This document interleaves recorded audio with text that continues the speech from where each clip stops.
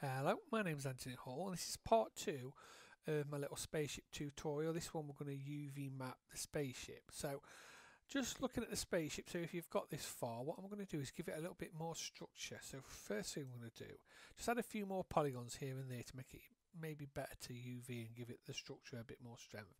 So I'm going to select these two polys here, look, and then go to multiply and then we're going to use a bandsaw. What it's going to do is split them in half, making a nice row of polys all the way around.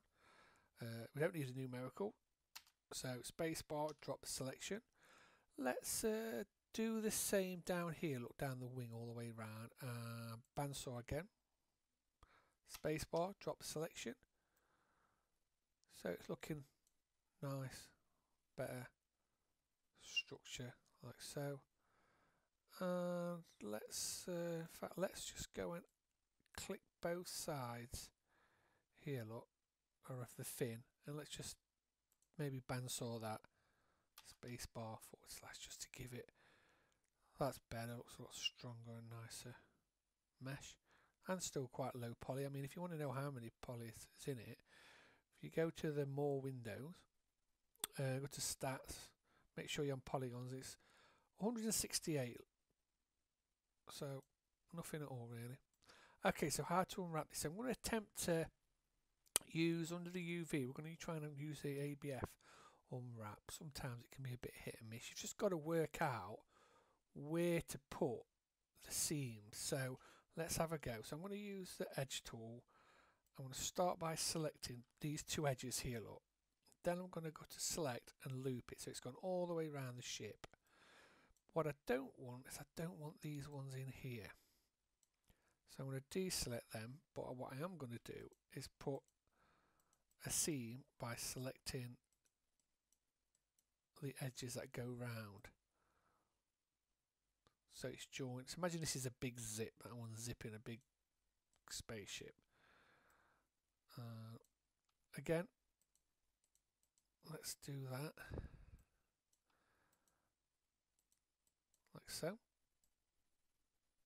check all the way around. We don't want these in the middle here. Let's uh, get rid of them ones and let's check these going around. Look.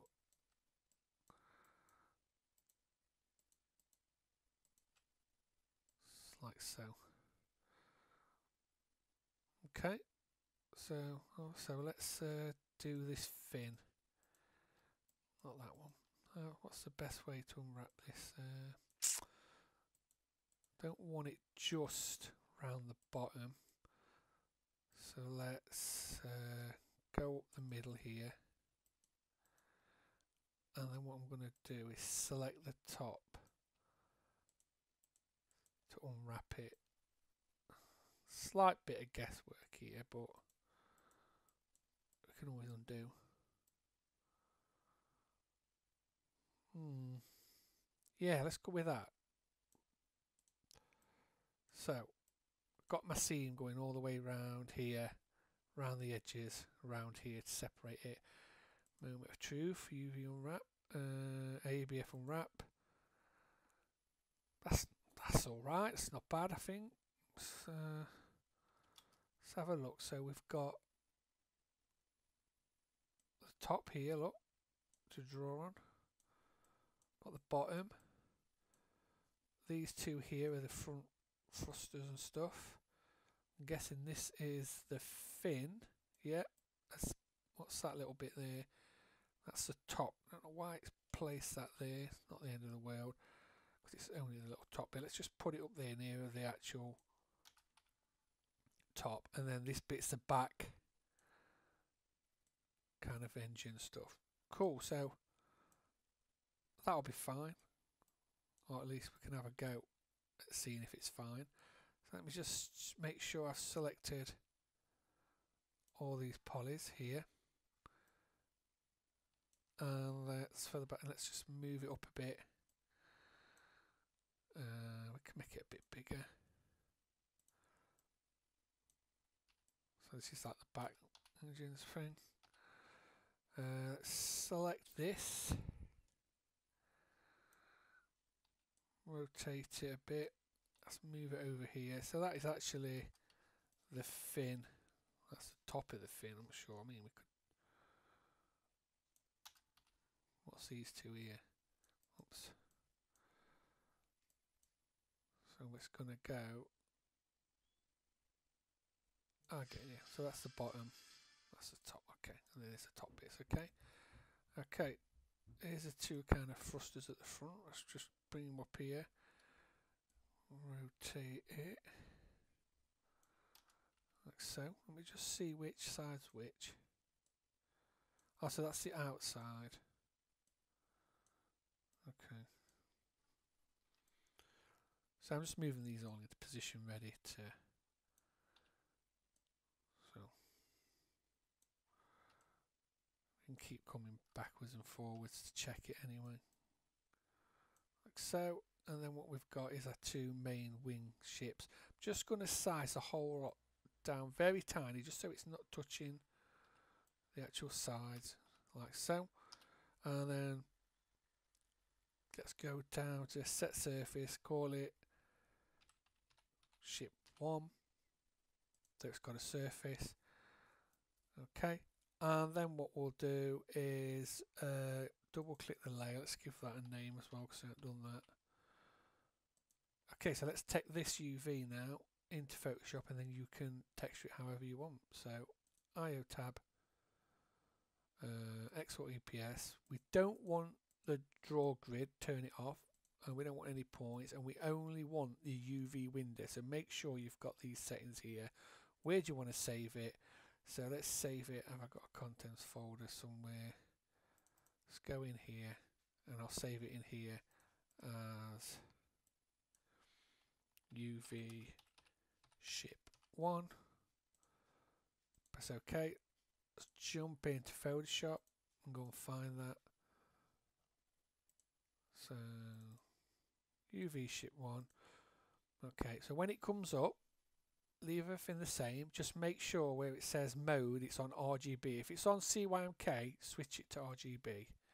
Press OK. And there what we have now is the actual ship laid out, ready for you to start kind of adding the textures and colouring it in. Now, I haven't done this bit. I'm going to leave you to kind of come up with stuff. What I have got is this website on DeviantArt, uh, Alexandro.